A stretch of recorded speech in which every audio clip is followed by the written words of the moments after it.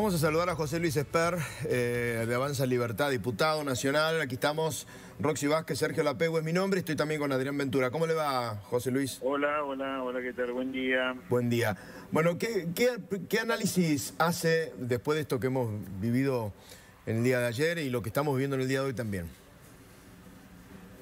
Bueno, repudiable y execrable y lo condeno de la manera más enérgica el intento de asesinato de la vicepresidenta de la Nación. Espero, deseo que las fuerzas de seguridad y la justicia aclaren esto urgente, urgente, urgente, urgente. Sería muy saludable para los argentinos saber hoy mismo qué es lo que pasó ahí.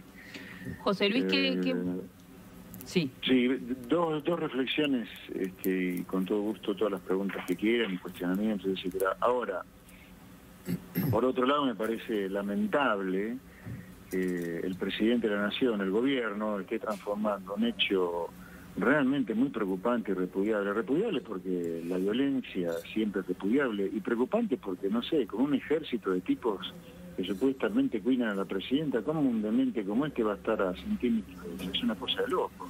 Bueno. Ahora, quiero hacer dos reflexiones sobre de anoche, después del intento de asesinato de la vicepresidenta. Mm. Yo no puedo creer que el presidente a partir de esto haga política, como fue lo que hizo en cadena nacional acusando a la justicia, a la prensa y a la oposición de generar un clima de odio y al mismo tiempo hoy decretar un feriado para seguir haciendo política y movilizar a la gente. Es una cosa de locos. O sea, no termina nunca. O sea, acaba, acaba de ocurrir un hecho de una preocupación extrema y esta gente sigue haciendo política con ese hecho. Una cosa no lo puedo creer. Yo le, quería preguntar justamente respecto del feriado, ¿no? ¿Cuál, ¿Cuál es su opinión? Sí, lamentable, lamentable. La vida debería haber sido normal para todos los trabajadores, para todos los chicos que estudian, para los empresarios que dan trabajo y que se investigue el intento de asesinato de la vicepresidenta hasta con renuncias en el día de hoy debería haber ido, por ejemplo, Aníbal Fernández. ¿Usted cree que debe renunciar a Aníbal Fernández? Cuando...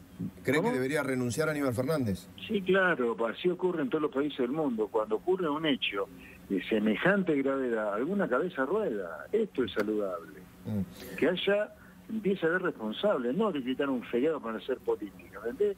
Todo al revés hacemos nosotros. Pero, pero, pero Esper, la gente que custodia a Cristina, recién escuchábamos al, al, joven, uno de los jóvenes que, militantes que detiene al delincuente y que toma el arma, me dice, yo soy parte del, del cordón de custodia de Cristina, o sea, gente que no tiene experiencia, es una locura. Cristina tiene la mayor cantidad de efectivos, más que el presidente la custodian. Ahora, el cordón lo controla la gente común. Es una locura lo que está pasando. Un delirio, un delirio, un delirio. Todo es un delirio, la verdad que un delirio. Un delirio el intento asesinato, un delirio que el presidente por cadena acuse a la prensa, a la justicia, que la justicia hace justicia. Y hasta ahora la justicia ha acusado a la presidenta, ni siquiera hay un fallo. Y aunque lo hubiera tampoco es causal de hacer política con eso y, declarar un feriado para movilizar a la gente a partir de un hecho repudiable como el intento de asesinato a la vicepresidenta es una cosa increíble, increíble. Pero aparte, increíble. Lo asesora Drácula ah. directamente Increíble y peligroso también, ¿no? Porque la gente, ¿cómo va? ¿Con qué actitud va? a la marcha, hoy a las 12 del mediodía. Y va crispada, va crispada porque la movilizan después del intento de asesinato a la vicepresidenta de la Nación. Mirá cuál es el leitmotiv de la convocatoria. No es festejar, no sé, otro año de la independencia de la República, sino eh, movilizarla para repudiar un acto que quién no va a repudiar que el intento de asesinar a la vicepresidenta, pero hacer política con eso y continuar crispando más. Porque aparte el presidente por cadena, ayer casi echa la culpa de lo que pasó con Cristina, que todo el mundo repudia, al clima de crispación que genera. Una justicia que lo único que hace es acusar hasta ahora. La prensa que informa y la oposición, bueno, hace política la oposición.